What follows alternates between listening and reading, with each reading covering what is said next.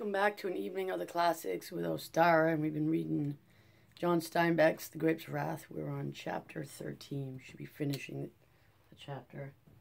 We should be going on to the summary in, in our next video. I'll lay him out, said Ma, but who's to get supper? Sairy Wilson said, I'll get supper. You go right ahead, me and the big girl of yours. We sure thank you, said Ma. Noah, you get into them kegs and bring out some nice pork. Salt won't be deep in it yet, but it'll be right nice eating. We got a half a sack of potatoes, said Sairy. Ma said, Give me two half dollars. Pa dug in his pocket and gave her the silver. She found the basin, filled it full of water, and went into the tent. It was nearly dark in there. Sairy came in and lighted a candle and stuck it upright in a box. And then she went out. For a moment, Ma looked down at the dead old man, and then in pity she tore a strip from her own apron and tied up his jaw. She straightened his limbs, folded his hands over his chest. She held his eyelids down and laid a silver piece on each one. She buttoned his shirt and washed his face. Sairy looked in, saying, Can I give you any help? Ma looked slowly up. Come in, she said. I like to talk to you. That's a good girl, big girl you got, said Sairy. She's right in peeling potatoes. What can I do to help? I was going to wash Grandpa all over, said Ma, but he got no other clothes to put on. And of course your quilt's spoiled. Can't never get the smell of a death from a quilt. I seen a dog growl and shake at a mattress my ma died on. That was two years later. We'll wrap him up in your quilt. We'll make it up to you. We got a quilt for you. Sarah said, You shouldn't talk like that. We're proud to help. I ain't felt so safe in a long time. People needs to help. Ma nodded. They do, she said. She looked long into the old whiskery face with its bound jaw and silvery eyes shining in the candlelight. He ain't gonna look natural. We'll whop him, wrop him up. The old lady took it good. Why, she's so old, said Ma. Maybe she don't even rightly know what happened. Maybe she won't really know for quite a while. Besides us folks takes a pride in holding in. My pa used to say anybody can break down. It takes a man not to. We always try to hold in. She folded the quilt neatly about Grandpa's legs and, round, and around his shoulders. She brought the corner of the quilt over his head like a cowl and put it down over his face. Sairy handed her half a dozen big safety pins, and she pinned the quilt neatly and tightly about the long package and at last she stood up. It won't be a bad burying, she said. We got a preacher to see him in, and his folks is all around. Suddenly she swayed a little, and Sairy went to her and steadied her. It's sleep, Ma said in a shamed voice tone. No, I'm all right. We've been so busy getting ready, you see. Come out in the air, Sairy said. Yeah, I'm all done here. Sairy blew out the candle, and the two went out. A bright fire burned in the bottom of the little gulch, and Tom with sticks and wire had made supports from which two kettles hung and bubbled furiously, and a good steam poured out under the lids. Rose of Sharon knelt on the ground out of range of the burning heat. And she had a long spoon in her hand. She saw Ma come out of the tent, and she stood up and went to her. Ma, she said, I got to ask. Scared again? Ma asked, Why, you can't get through my nine months without sorrow. But will it hurt the baby? Ma said, There used to be a saying, a child born out of sorrow will be a happy child. Isn't that so, Miss Wilson? I heard it like that, said Sairy. And I heard the other. Born out of too much joy will be a doleful boy. I'm all jumpy inside, said Rose of Sharon. Well, we ain't none of us jumping for fun, said Ma. You just keep watching the pots. On the edge of the ring of firelight, the men had gathered, for tools they had a shovel and mattock. Ma parked on the ground, eight Pa par marked on the ground eight feet long and three feet wide. The work went on in relays. Pa chopped the earth to the mattock, and then Uncle John shoveled it out. Al chopped, and Tom shoveled. Noah chopped, and Connie shoveled, and the whole drove, for the work never diminished in speed. The shovels of dirt flew out of the hole in quick spurts.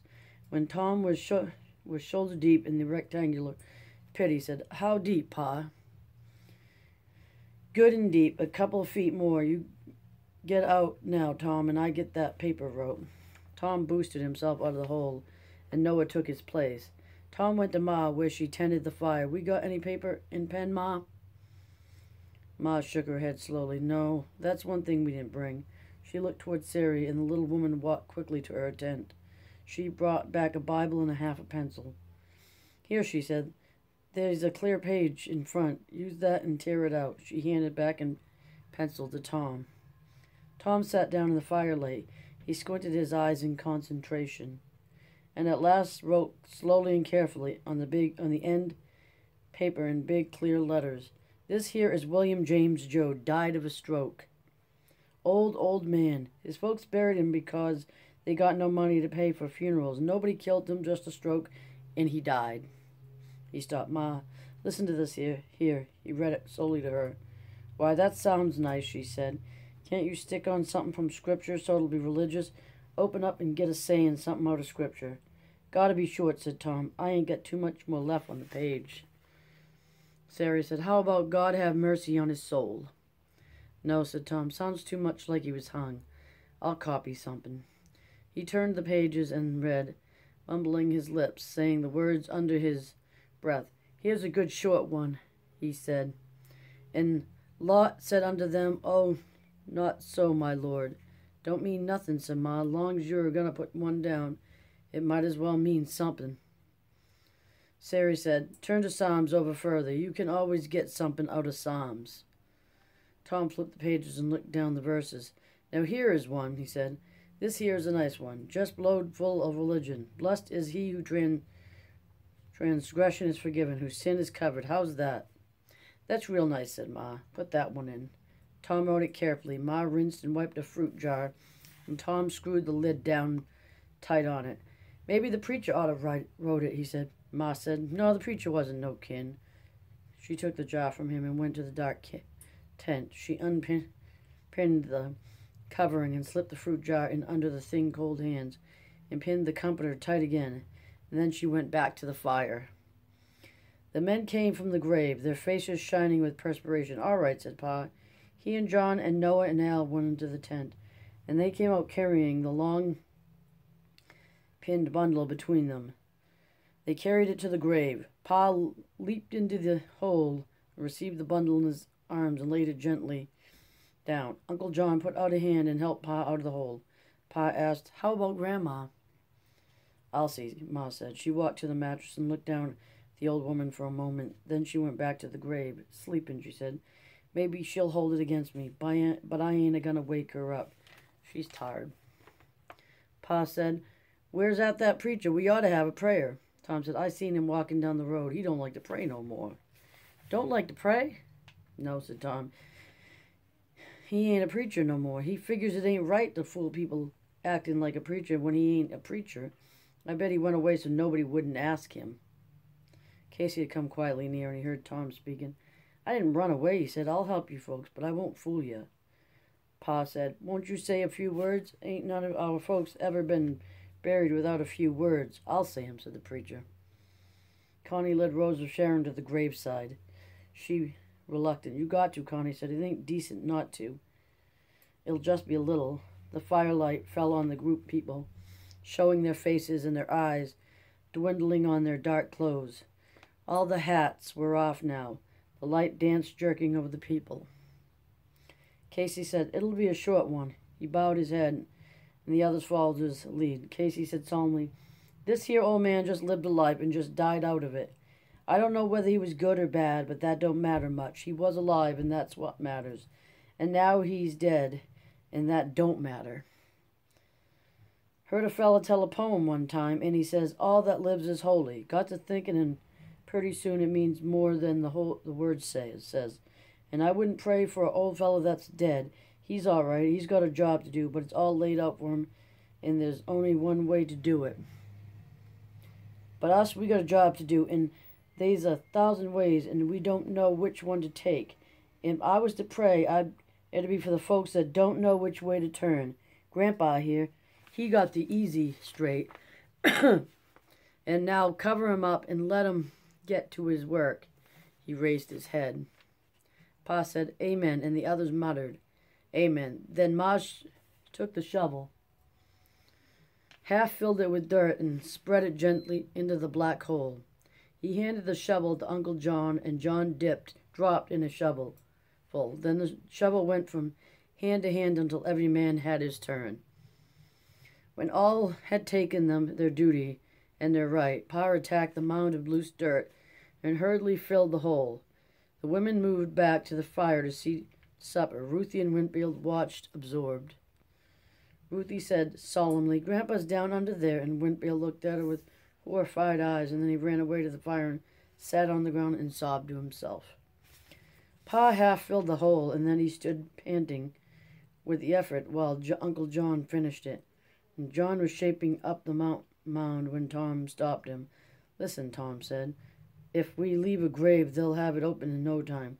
We gotta hide it, level her off, and we'll strew dry grass. We gotta do that. Pa said, I didn't think of that. It ain't right to leave a grave unmounded. Can't help it, said Tom. They'd dig 'em right up, and we'd get it for breaking the law. You know what I get if I break the law? Yeah, Pa said. I forgot that. He took the shovel from John and leveled the ground. She'll sink. Come winter, he said. Can't help that, said Tom. We'll be a long ways off by winter. Tromp her in good, and we'll strew stuff over her. When the pork and potatoes were done, the family sat beat about on the ground and ate, and they were quiet. Staring into the fire, Wilson, tearing a slab of meat with his teeth, sighed with contentment. Nice eating pig, he said. Well, Pa explained, we had a couple of shoats, and we thought we might as well eat 'em. Can't get nothing for 'em.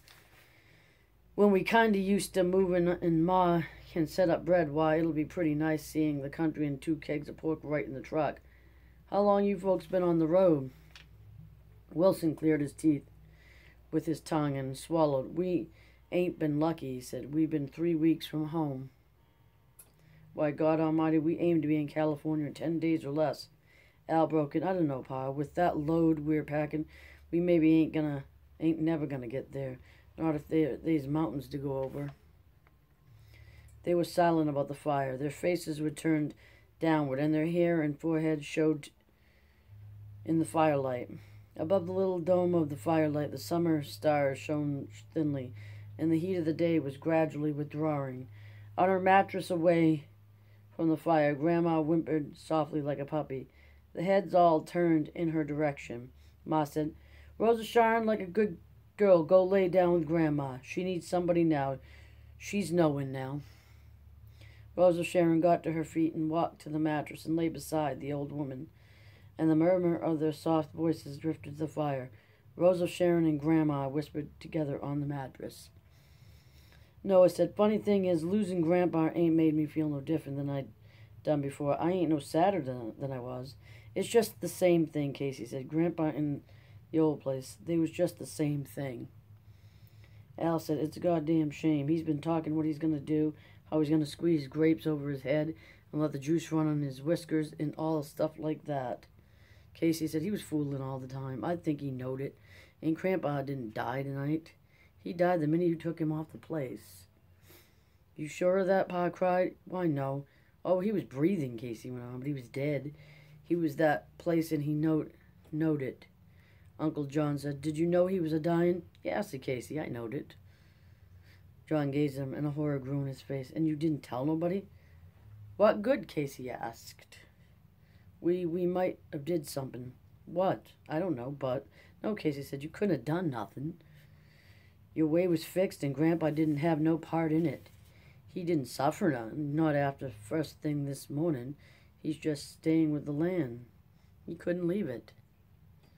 Uncle John sighed deeply. Wilson said, We had to leave my brother Will. The heads turned toward him. Him and me had forties side by side. He's older than me. Neither one ever drove a car. Well, we went in and we sold everything.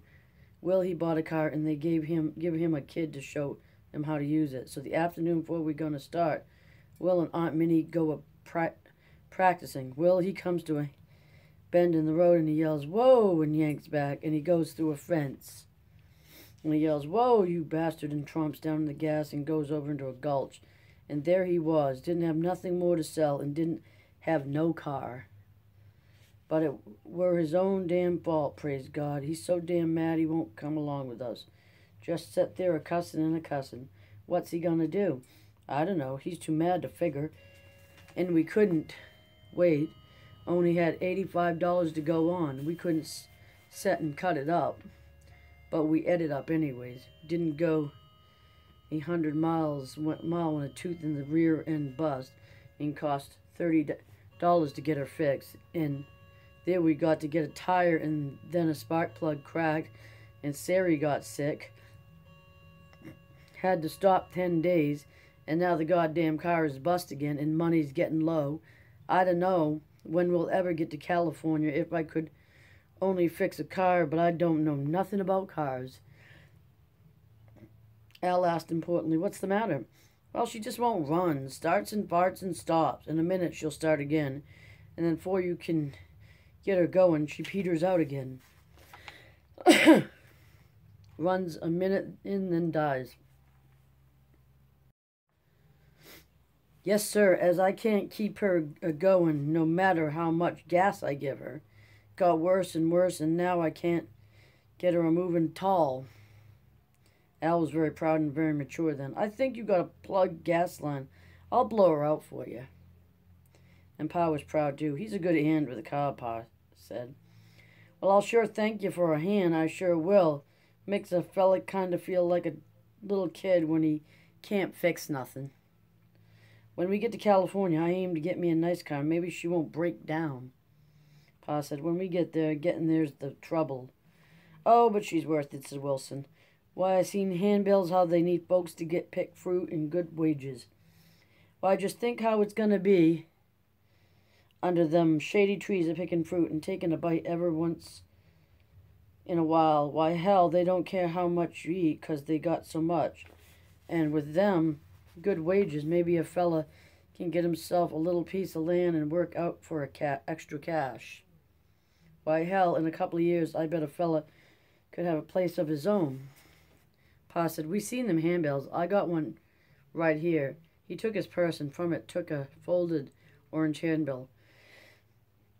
In black type, it said, Pea pickers wanted in California. Good wages all season. 800 pickers wanted.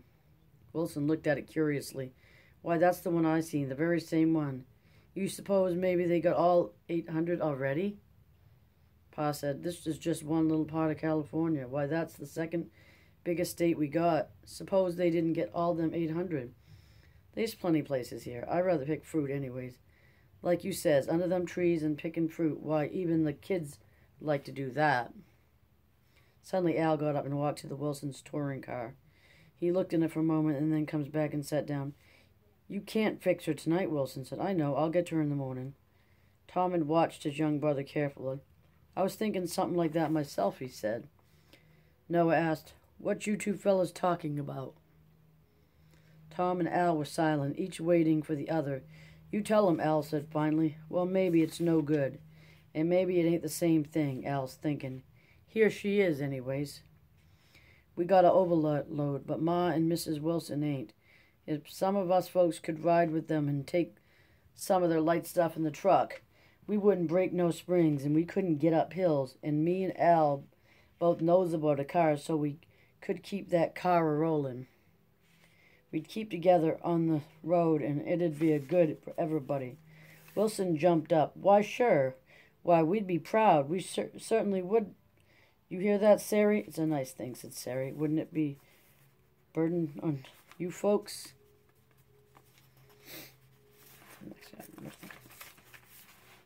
No, by God, said Pa. Wouldn't it be no burden at all? Wouldn't be helping. You'd be helping us. Wilson settled back uneasily. Well, I don't know. What's the matter? Don't you wanna? Well, well, you see, I only got about thirty dollars left, and I won't be no burden. Ma said, "You won't be no burden. Each will help each, and we'll get to Cal. All get to California." Sairy Wilson helped lay Grandpa out, and she stopped. The relationship was plain. Al cried. That car'll take six easy. Say me to, to drive on Ro- and Rosa Sharon on Connie and Grandma. Then we take the big light stuff and pile here her on the truck, and we'll trade off ever so often. He spoke loudly, for a, lo- for a load of worry was lifted from him. They smiled shyly and looked down to the ground. Pa fingered the dusty earth with his fingertips. He said, Ma favors a white house with oranges growing around. There's a big picture on a calendar she's seen. Sarah said, If I get sick again, you got to go on and get there. We ain't a going to burden.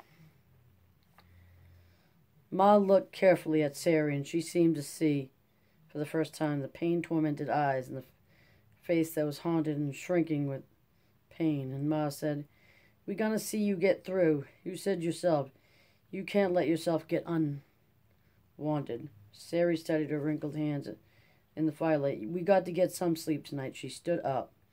Grandpa, it's like he's dead a year, Ma said. The families moved lazily to their sleep, yawning luxuriously. Ma sloshed the tin plates off a little and rubbed the grease free with a flour sack. The fire died down and the stars descended. Few passenger cars went by on the highway now, but the transport trucks thundered by at intervals and put little earthquakes in the ground. In the ditch, the cars were hardly visible under the starlight. A tied dog howled at the service station down the road. The families were quiet and sleeping, and the field mice grew bold and scampered out about among the mattresses. Only Sairy Wilson was awake. She stared into the sky and braced her body firmly against pain.